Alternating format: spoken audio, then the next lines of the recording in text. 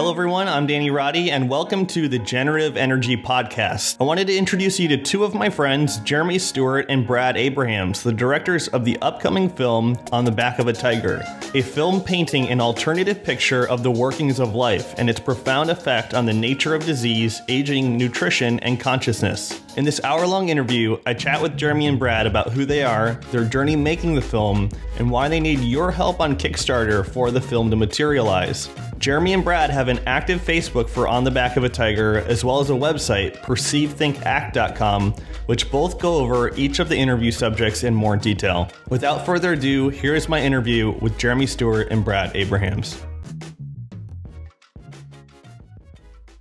Brad, how did you guys meet each other? Well, we have somewhat similar pasts. We both worked at a pretty renowned production company and advertising agency, but in different offices. I was in Seattle and Jeremy in Chicago.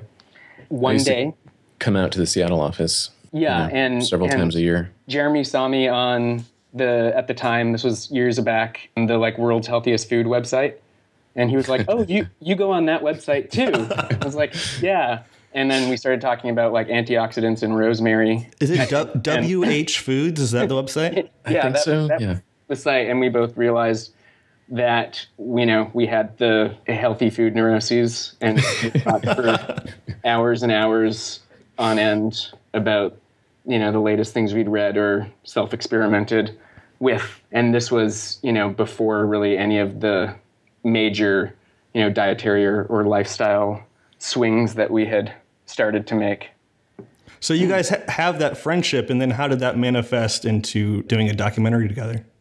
It was years later. We were just friends who had similar interests and worked together on and off when I would be out on the West Coast. I think it was the last time that we worked together, which was years ago now, that Brad had just found uh, Ray Peat and shared the website with me. Brad, what was that experience like? Because I know a lot of people don't just immediately go towards Peat. Did you try a lot of different dietary philosophies before that? I had. It was a, a pretty long and torturous route, but I had always had like really horrible digestive issues, as well as you know allergies and fatigue. Tried a lot of different things and decided that something drastic was in order, um, and decided to go raw vegan and mainly fruitarian which I did for years, and noticed, you know, pretty pretty big positive impact on my health. But for a lot of reasons, that diet and lifestyle didn't stick and I was sort of looking for something that made a little more sense in you know the modern age as well as with you know my own sort of particular physiology uh, and lifestyle and stumbled I think it was through your site you know right. certain key keywords and, and queries and somehow I, I came to your site read some of your writings on Peat was like this guy just sounds so strange and fascinating. And at first I think like a lot of people I started reading his site and I was like oh he's just crazy and and wrote it off. And then a little bit later he sort of came back to was like maybe he was onto something. Um, and and sort of broke I think there's a threshold for everyone reading Peat where it it just clicks. And everything starts to fall into place and, and make a lot more sense. And so that finally happened, and it put a lot of my own issues in the past in context. And it was really actually kind of empowering once sort of realizing the, the fundamentals of things like, you know, the stress response and how that was causing a lot of my issues and then how you know that could be mitigated so yeah that was my introduction to Peat and how i got acquainted with him and then when i when i introduced jeremy to him i was still sort of in the beginning of of that yeah, was, journey. So we started at nearly the same time getting into reading his articles and becoming familiar with the, the growing community that was online. And it was still at least, I would say, a year or more before even considering making a film on the subject. What was the breaking point? Did you see the momentum online and then your guys' own interests just kept going and then you decided to make the movie? It was partly, at least for me, that uh, working in the commercial world for a long time, it's a great place to hone your skills and get good at design and filmmaking and things like that. But it's ultimately artistically pretty unsatisfying, hmm. at least for me. As well as ethically. Yeah. so I think we both felt like we'd been using our using our powers for evil instead of good.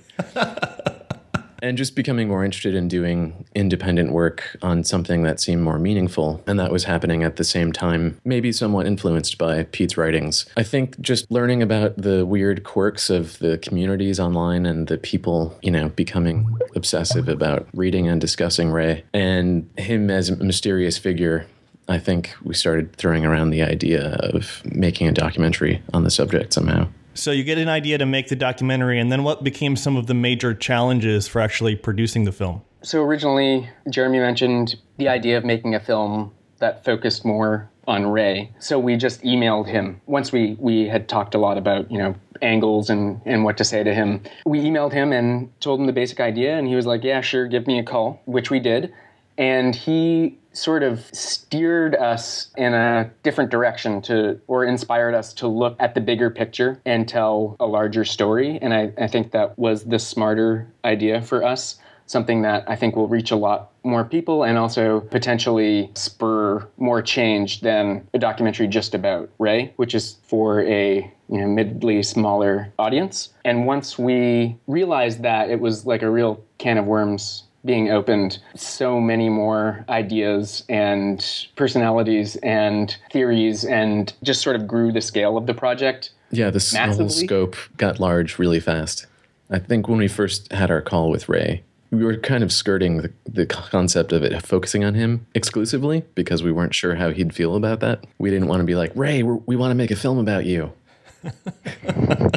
so we, you know, in talking about the science, I think he helped us to see that bigger picture. And, you know, it's been a discovery process throughout doing research and contacting people and trying to see the larger web of connections between all of this work that's not well known in the mainstream. Also, Danny, just to backtrack a little bit, when you mentioned our our work and, and skill level and experience, that was also part of the motivation. Feeling yeah. confident that we could take these concepts and ideas that are are very difficult for the public or mainstream to wrap their heads around or even accept because they're so counter to everything that's taught and disseminate them sort of in a way like you do with your blog and what other people do with their blogs and make it more digestible, appealing, and draw the connections for them. Yeah, it was something that you said to us, Danny, when we interviewed you, was that you didn't see anyone doing an adequate job of diving into this material. And so for us being interested in it for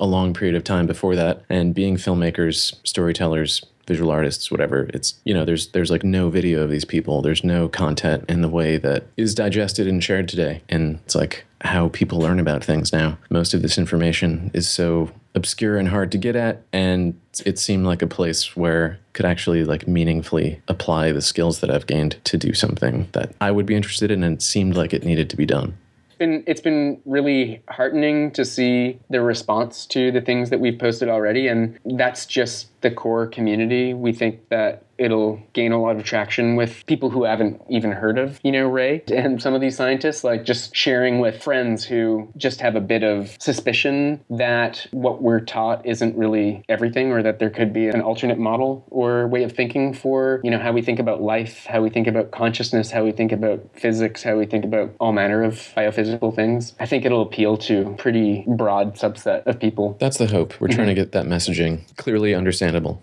there's really three components to the film, and I think each appeals to a different type of person. You have the criticisms of the establishment, which anyone who's got a, a bit of an anti establishment bent to them is going to gravitate towards. Then you have the theories themselves, which the Peat community and some of the alternative health groups will enjoy. And then focusing on the people like you, as well as people who have, like we mentioned before, taken their health into their own hands, I think then reaches out towards people that maybe know a loved one or a friend or even themselves that have some kind of illness that, that they've never satisfactorily been able to to treat or, you know, had a plan or had even hope for overcoming it. So yeah, there's a lot I think there's a lot to dig into for a lot of people. So at that point, you guys do the most ambitious thing imaginable and you fly to London. Was that the result of talking to Hillman and Mae Wan Ho before other people? We just started emailing these people. So we listed who would be the core group of interviewees based on people that Ray frequently cites, as well as who we just had like a personal interest in, and then just fan out and and knock them off one by one. And so we emailed each one individually with a very brief email describing the project or our intention for the project, which, is, which has changed over time. And without fail, first response back was pretty much like, yes, this sounds good. Let's work out a time, which Yeah. sort of shocked us because, you know, they don't know who we are and they're fairly, or they were at some point, some of them are now, but fairly prominent scientists. We then realized that they don't get to have a forum for their ideas, especially, you know, Harold Hillman and Gilbert Ling, who have almost no online presence whatsoever, or one that can be like easily sought out. So I think that that everyone was actually very enthusiastic to be a part of this. That was a real like blessing for us at first, and also motivation to that we were on the right track and and to keep Yeah, there going. was just no no resistance from any of them and lots of interest. I guess London came about because there were several people there that we wanted to talk to, so it seemed like an effective first trip to go knock out a couple interviews at once. You guys traveled to Guildford to meet up with controversial British scientist Harold Hillman. What was that whole experience like? Um, so he, you know, we we spoke to him on the phone and emailed.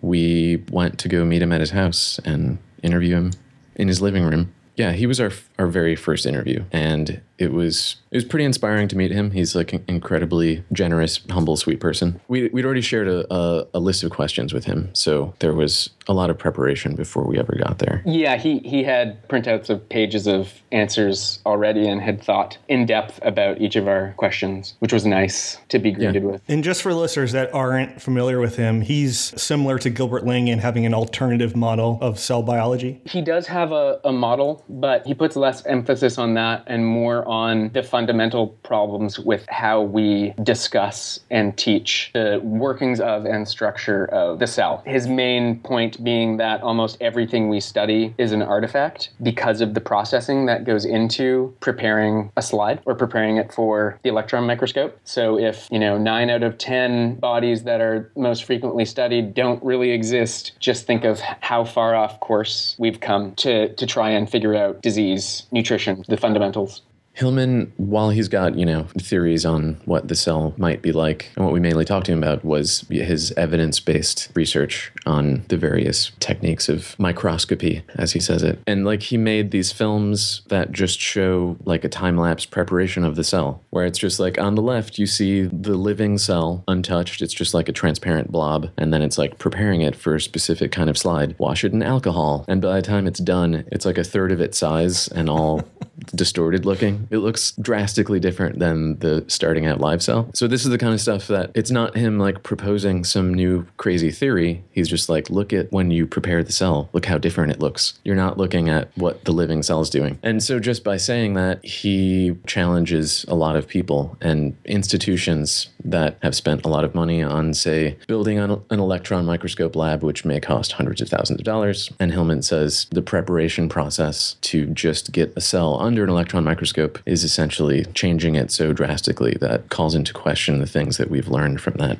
The consequences for him w- was more silence because you could never, or his opposition could never really argue with him because it was so easy to show each of his theories in a concrete way. So what ended up happening was they would just leave the room when he would walk in or run, like literally run away from him, take his funding away, take his positions away, not publish his books, but never a rebuttal, you know, serious rebuttal that he couldn't take apart. I think it was something that was just uh, too dangerous for them to deal with. It's like threatening to their position. And meanwhile, he's literally one of like the sweetest guys you could Yeah. ever imagine. I mean, he's he's one of the co-founders of Amnesty International, and he left Amnesty International because they weren't democratic enough of a organization for him.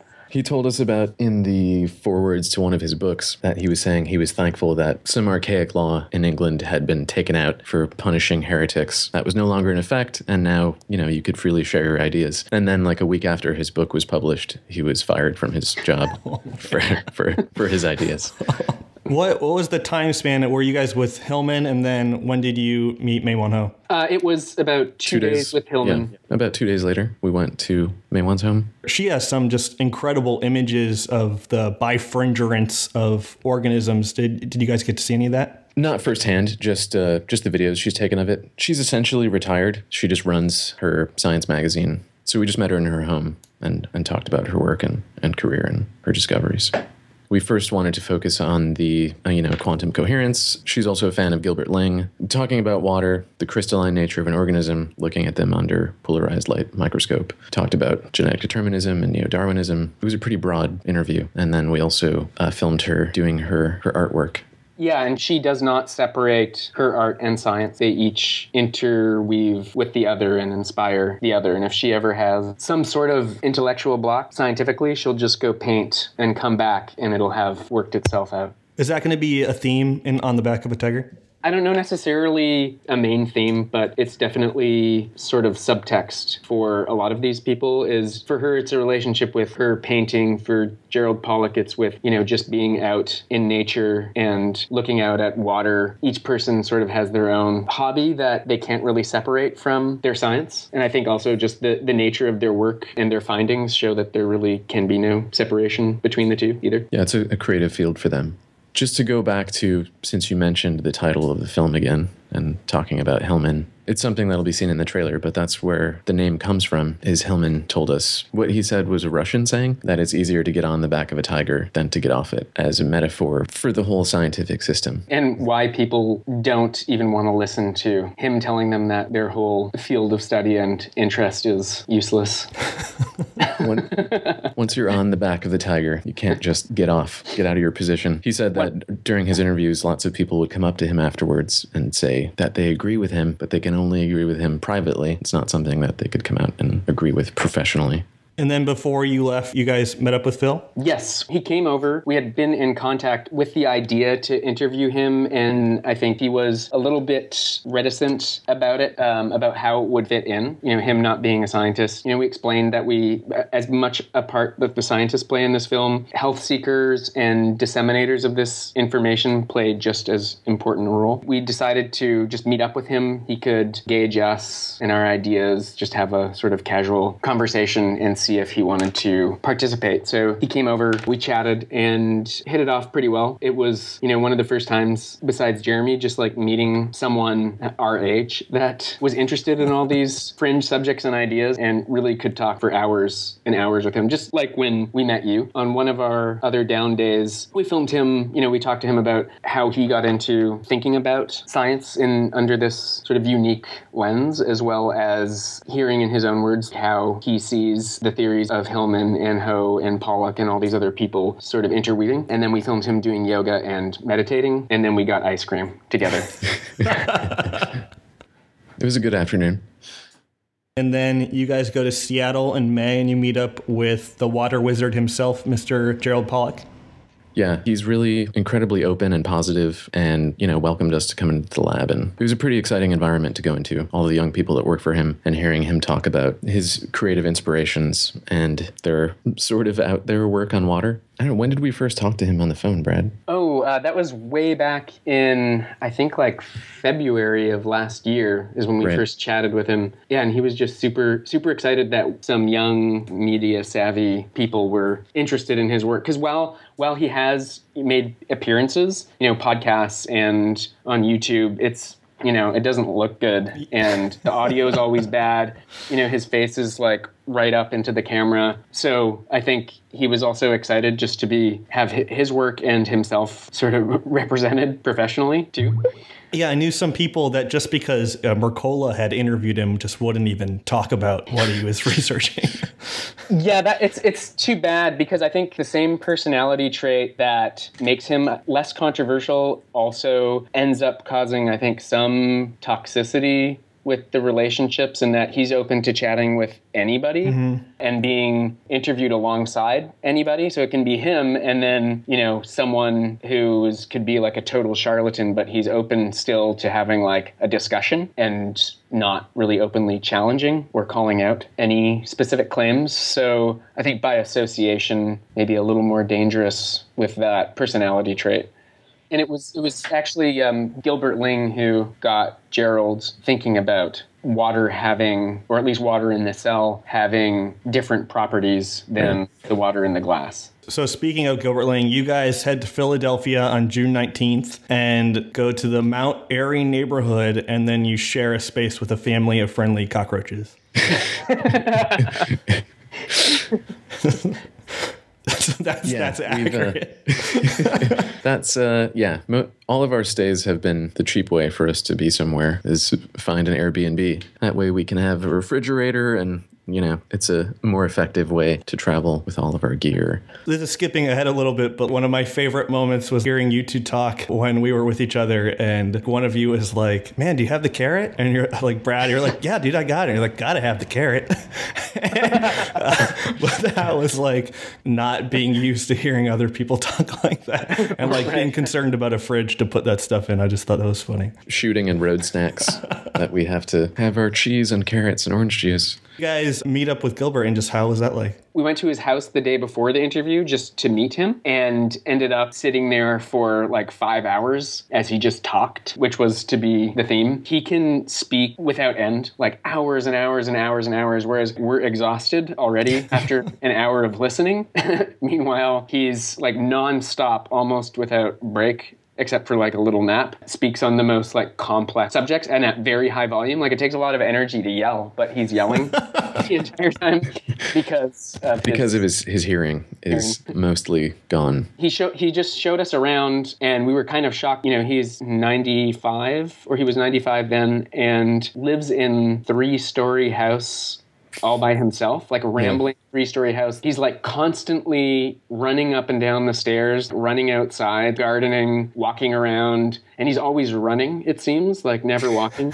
and either in constant motion or constantly talking. It was it was just so shocking to see 95 year old man able to do that. And one that lives alone too. Oh, You know, a lot of older people when they lose their partner start to deteriorate, but Gilbert still seemed to have all his faculties besides his hearing.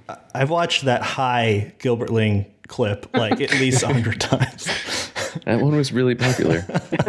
Uh, yeah, I think he was, you know, excited to have someone to actually talk to who was interested in his work. I think mostly at that time, you know, he lives alone. He had some contact with his neighbors, but no one who wanted to hear about the big work that he's done in his life. One of his neighbors was maybe a heart surgeon or something, and Okay. he he said that he attempted to read Gilbert's book but couldn't understand it. So he was pretty shocked that it was like, "Why are you guys here filming Gilbert?"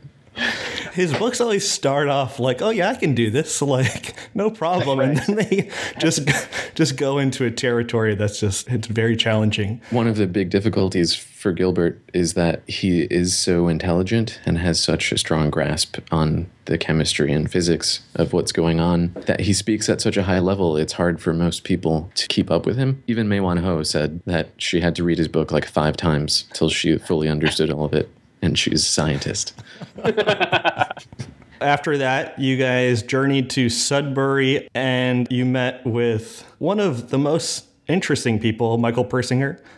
And and Yeah. this was when we talked to, where I mentioned before choosing our core group of interviewees for for this beginning round of filming. Persinger was more someone I think Ray only mentioned once or twice, but someone that Jeremy and I had both had an intense interest in or an intense interest in his work and saw a lot of connections with the theories of the other people we had spoken with but it was more a rogue decision to interview and, and integrate him into the mix Yeah, I, I guess I was surprised how relevant everything he had to say when we interviewed him was to the project. More so than going into it, it was like awesome that we were going to get to talk to him, and, we and maybe so try the god helmet right? Just for those people who don't know, what's the God helmet? Uh, What's the original name of it? It was it was dubbed the God Helmet by a reporter, It was like the Koren helmet. Koren Helmet, yeah, who was another neurologist. They did an experiment using mild electrical electromagnetic stimulation of the right hemisphere, which is where it had been determined that religious psychedelic experiences seem to be highly related to right hemisphere activity. And so they set up this room. Was it a scooter helmet? Yeah, Uh, yeah, a bicycle helmet or scooter helmet. It's sort of an iconic looking yellow 70s helmet with racing With stripes on it. and they put these little electromagnets on it. It's hooked up to a computer, and so you sit in the dark room and they run the program. And a number of people experienced some sort of uh, a feeling of presence that was then filtered through their through their cultural eye, their lens of if they were religious, then they might have had like a mystical religious experience of feeling like God was in the room. For other people, it was more just like a presence, something that definitely seemed to have a strong effect on consciousness for some people. And so he said he gets up to 100 or more interview requests every year, but every single one starts with them saying they want to try on the helmet. You know, that was work he did decades ago and has moved far beyond that. And it also is, you know, it's sensationalist and a little more lower common denominator type of reporting. He, I think, understandably wants to distance from anything that just focuses on the controversy surrounding that. And he was more interested in our, I think, the critiquing of the scientific and medical establishments, you know, the reasons why some of these contentious theories aren't coming to the surface. And, and it's because of the endemic problems in the establishments, and that he speaks incredibly eloquently about. Yeah, and I think part of his intelligence and, and being so savvy with media, he's just aware of the fact that a major change, a paradigm shift, can't come through the establishment, but has to in some way come through media. So I think the email that we sent him, you know, piqued his interest in, in doing something that was media savvy, but not a sensationalist thing looking at his experiment from 30 years ago. Does he have kind of like a Pollack position at the, the university where he works? Is because he's not challenging anybody directly? He's Uh, kind of no, no, they. I think they really sort of dislike the fact that he's even in that like city. Ah. they, they've tried to run him out of the out of Sudbury before in the past. He's got enough pull with the right people to at least keep him untouched for now. You guys met up with him at 1 a.m. and that was Yeah. towards the end of his workday. To get there, we had to drive in from Toronto, and it was a long drive. And so we we always like to scout the location that we're going to be at shooting, meet the person, see the space, so we can be somewhere prepared for what's going to happen on the actual shoot day. With getting in so late, we didn't know if that was going to happen, and so we called him up. He said he'd be back at the office later, and if we were like those kinds of nighttime kind of guys, we could come meet him. And so we were like, yes, I guess we should go meet him. I, I think it works for him on multiple levels. He manages to have like the university basically to himself and his department. Mm-hmm. I, I think he starts his day at like noon That's when he wakes up. and then he doesn't go to work until like towards towards the end of a regular school university day and then he takes like a dinner break instead of a lunch break and then goes back and works until like three o'clock in the morning every day And all of his lab staff and students have to adopt that schedule as well. I don't know if you guys told me this or I read this. He uh, has like a diet of cereal or something. Well, I don't think it's it's not exclusively cereal, but one of his favorite meals is a bowl of cereal with scoop of ice cream on top that he then puts That was it. in the microwave. chocolate chips or something also Yeah, I think it's like life cereal Then he microwaves it and then eats it and then like does karate.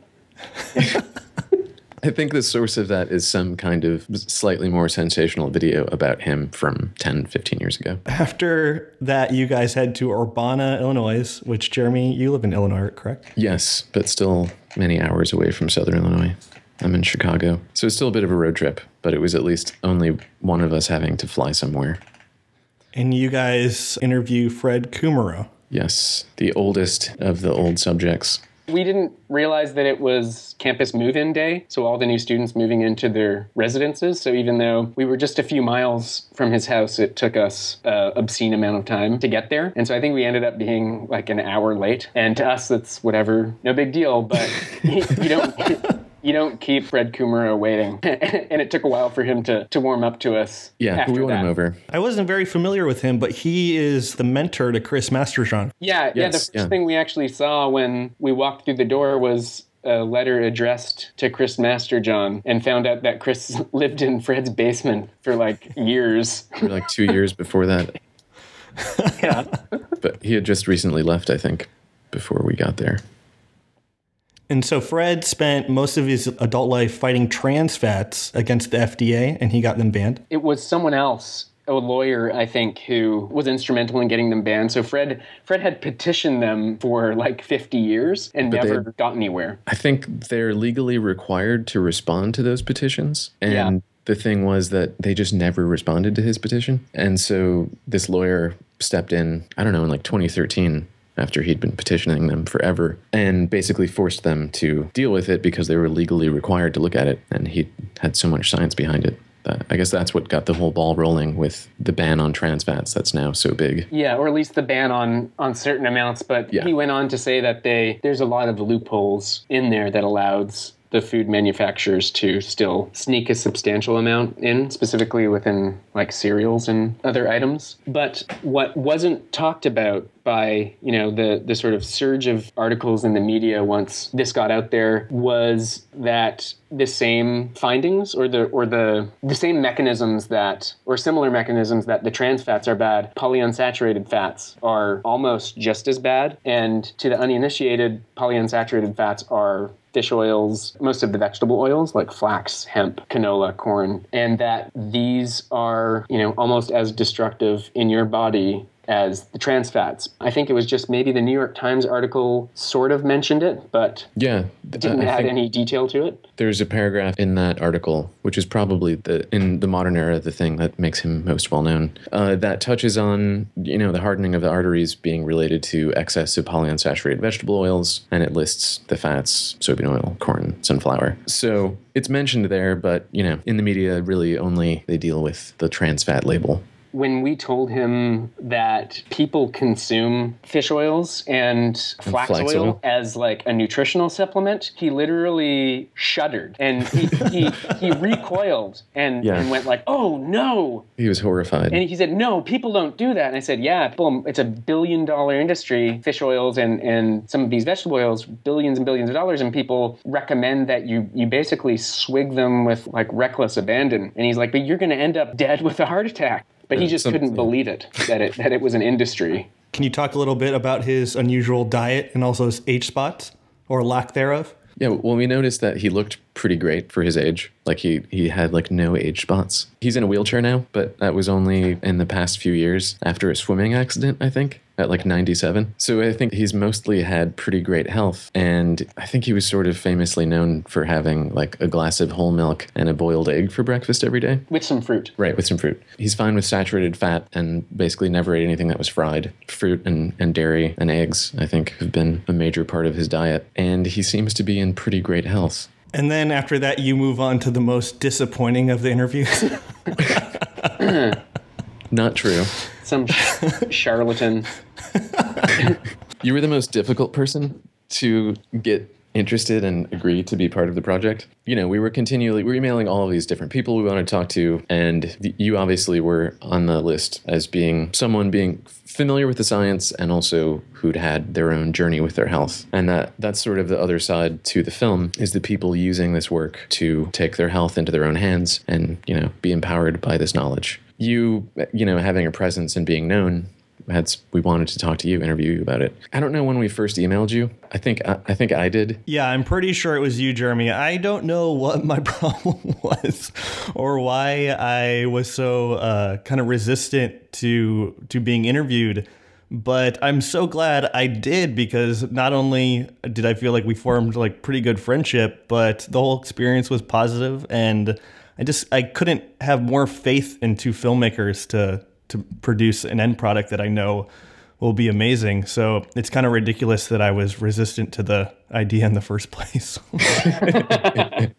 well, we get we get like sort of like a postpartum depression after each shoot. Yeah. Because the camaraderie and constant social stimulation, and then it's yeah. gone. like you go on this away. Exciting mission where you leave your life behind and go meet like inspiring people and figures. And then it's over and you have to go home. Seeing that we were making something real, that's what won you over. Yeah, you know, over the years, I've been sent emails from people who want to help out. For instance, when I was writing the book, somebody was uh, telling me they wanted to market it in various different ways. And you go through a series of emails with them, and then you just never hear from them again. so I think uh, Jeremy or Brett, I forgot uh, which one, sent me a video of, I think maybe it was Hillman and the quality and like the craftsmanship associated with the video was just outstanding and i was like oh these guys are actually real. Well i think it's somewhat understandable in that yeah. the majority of these types of documentary projects or really any film project just don't come into fruition. They just don't happen. They're, they're so difficult to get off the ground and continue and complete that nine out of 10 just don't end up happening. So I think that's where, with a lot of people, the, the hesitation comes from. We had a great time. After all the interviews that we'd done, it was fun to go meet someone our own age and talk about all these people because it's telling people about the project we're working on who aren't at all familiar they don't know who any of these people are, and it's you know it's difficult to talk to anyone about it and sum up the project. But someone like you or someone who's familiar with the work, it's like instantly engaging story. Not to mention that I was there to witness you guys discover that you were actually going to be able to interview Ray. So tell me a little bit about that. I, I guess you know, it had been on and off. We talked to Ray on the phone a couple times, and he'd essentially agreed to be in the project, but then he's extremely helpful communicating with people and very positive. So it was easy to get him to say okay, but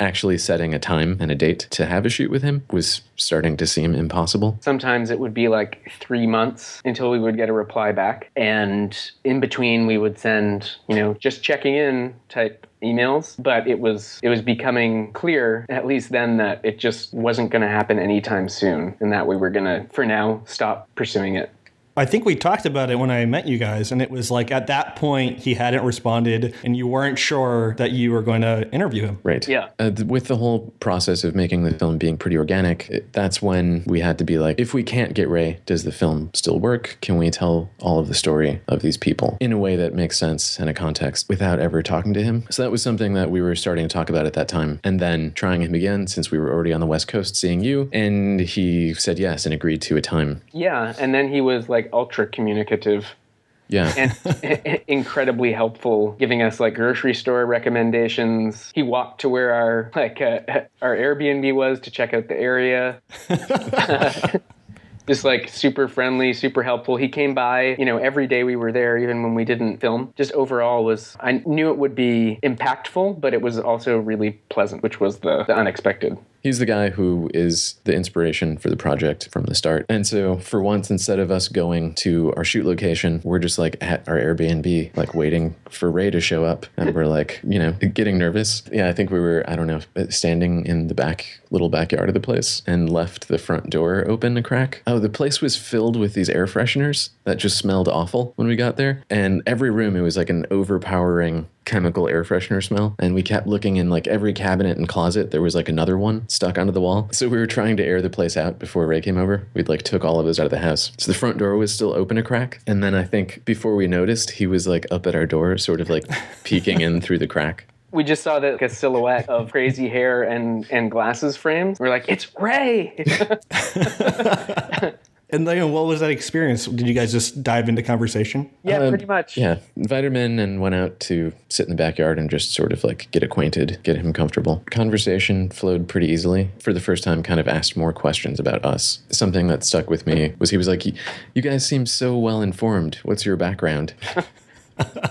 We're citizen We're like, scientists. "We read your website a lot."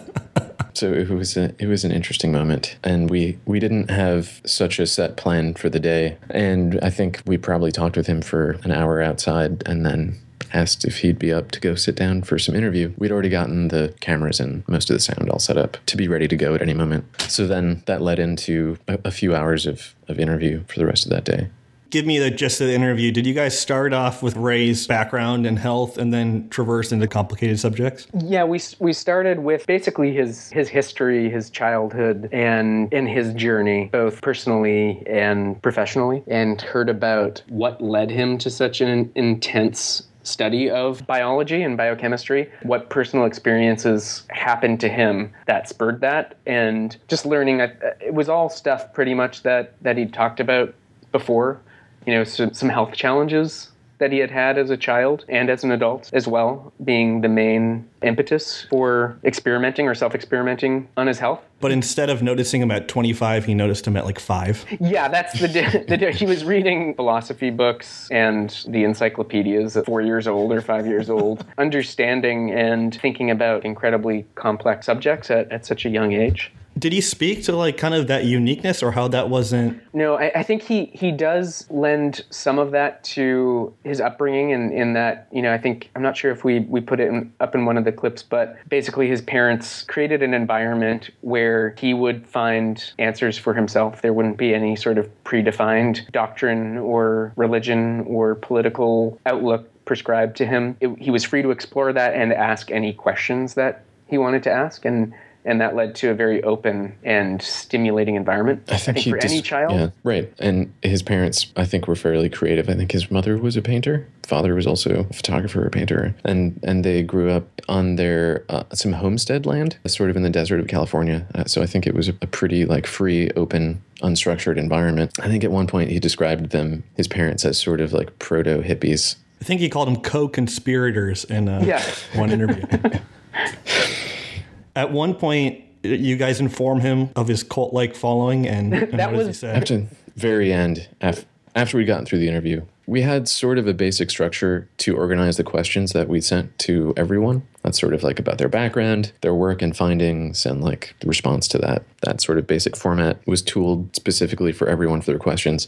With Ray, we wanted to get as much as possible while we had time with him. So we got through all of that, and then second day of shooting, and as much extra things that we could come up with. And then finally, when we were like losing light the second day after sort of wrapping, we hadn't really gotten a satisfactory answer from him on if he was really aware of the quote unquote community that follows his work. So we showed him, Brad had like a folder on his laptop with like screen grabs of various like Peat memes and pictures of people's fridges full of like milk and fruit and brought up a browser with the various Facebook groups and the forum and things like that. And so we're asking him how aware he was of this and and Brad just like showed him some of these things. I think he was pretty surprised. I, I think there was a little bit of shock Yeah. to see, like when I showed him the group and then, you know, the member count of some of the group, close to 2,000 people, and just some of the interesting adaptations people have made, you know, with their own like infrared light rigs and, and other things. Yeah, it was, it was mild shock. And then I think the And- first thing he said was I should be more careful what I say. yeah. he was, you know, I think it was also a bit of a delight for him to chat with people that know of the same people that email with Yeah. him frequently because he doesn't have anyone to, I guess, to relate to. The only awareness he has of his sphere on the internet is the amount of people that email him, which, you know, is, is still pretty large, but is tiny in comparison to all the forums and Facebook groups and blogs and, and all of that. And so even the idea to him that people talk about a Ray Peat diet, he found like it was confounding for him. Like what would that even be? Since he's he's never detailed anything like that. I mean, he's talked about certain foods that are pro-metabolic or anti-metabolic, but has never said, you know, he's fundamentally sort of against protocols in the first place. He was also uh, incredibly surprised that there were like trainers and people that did things with exercise that based their their teachings on his work since he's non-active sedentary. he said that for exercise he goes skiing once every 10 years. is a, a Ray joke.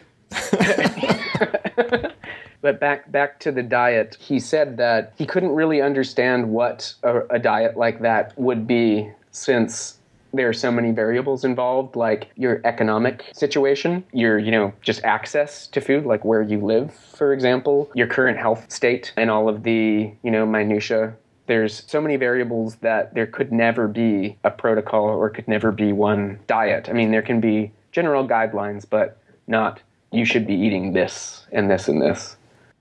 I mean, we could talk about this probably forever, but I appreciate your guys' insight. Let's move on to the Kickstarter and what's going on with you guys with the trailer and everything that we have to look forward to. Yeah. I guess a little more context for the filmmaking process so far. The whole shooting, as you've seen from the blog, has been pretty spread out. That's because it's a really expensive process, time intensive for travel, planning, renting gear. So the way it's had to go is we have to like work some sort of commercial job. That's where we make our money. And so each separately working and then saving up and then going to spend all that money doing a shoot. And then we have to go recoup again and get ready to do another shoot. So it's been a slow process. And we're to the point now where we're getting ready to release a trailer to give a more cohesive idea about what the film really is, what it'll be like. But to continue and get the whole thing done in a much more timely fashion, we just we need more money. We need some kind of budget. So that's why we're going to try crowdfunding. I think the fact that there's already a community that's interested in some of these people, I think we have a huge advantage there. So the hope is in a few months, just work continuously on the project instead of just having a few days here and there to go travel and, and get an interview in. We still need to get, you know, 10 to 12 more people. And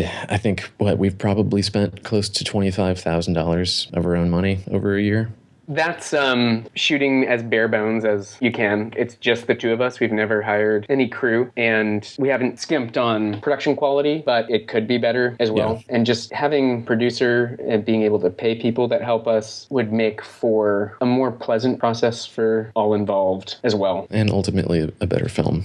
And we, we've only you know we've shot less than half of our subjects and then we still want to recreate some of these experiments as well as some stylized sequences with the therapies. So studio time and rental for that. And animated sequences are going to be pretty essential in getting across some of the more difficult ideas. Imagining them visually will help with that understanding. So all of that is a added time and cost as well beyond the interviews. We'd also like to get it done while all of our subjects are still alive.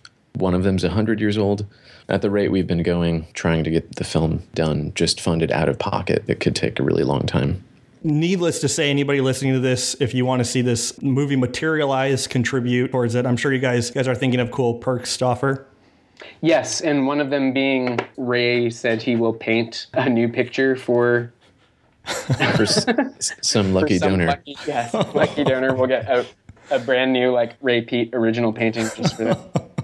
As well as a lot of in, yeah, a lot of interesting things. Some of the Idea Lab supplements. Um, Oh, cool. the guy in charge is donating some of his units and this guy uh, stephen scott who is sort of a specialist in the world of co2 he's developed a co2 skin cream and uh, it's, it's based off of one that's like really popular in japan and korea but is insanely expensive but apparently has or very effective so we're going to be including a pre-release of that some consultations with zachariah Sal- salazar and uh, benedicte Mailerche books, lots of like signed books, rare books, some of Peat's books and Hillman's books. Yeah, Gerald Pollack signed books. Pollack, yeah. Mae Wan Ho. Mae Wan Ho's art, also. Some Hillman books. Organizing the Panic video series. You know, and then the standard ones like access to podcasts or unedited interviews. That, that's what I was going to ask. Is Yeah. that a plan? Uh, Yes. It's definitely something that we've heard a lot of people be interested in that for obvious reasons. Uh, logistically, providing like 10 hours of a video interview is just technologically difficult. Uh, I think probably what we'll do is we'll release some sort of most likely audio only interview that's, you know, hours longer. And then some specially selected video Yeah. outtakes that don't end up making it. Or just that clip of Gilbert saying hi on repeat? just like a three hour YouTube version. I got a lot of plays. Awesome, guys. Uh, thank you so much. Is there anything we didn't cover you. that you guys want to talk about? No, just one little detail I forgot to mention when we were describing our visit with the Hillmans. Harold's Lovely Life would bring us tea like every 20 minutes. would have coffee. like uh, yeah, tea or coffee like a beautifully laid out tray with the pot and the glasses and the saucers and the spoons and the sugar cubes and the milk and everything. But literally, it seemed like every 20 minutes you would. Probably wasn't that often, but it seemed like it. It was just so so sweet. Perfect way to end the conversation. Thanks so much, Danny. no, thank you guys. I, Appreciate I your interest. totally appreciate it. I'm, as I said, I'm completely honored to be a part of this. It, it's pretty incredible what you guys have put together so far, and I can't wait to see on the back of a tiger in its full realized state. So I, I appreciate all the effort so far. Thank you so much. Thanks, Danny.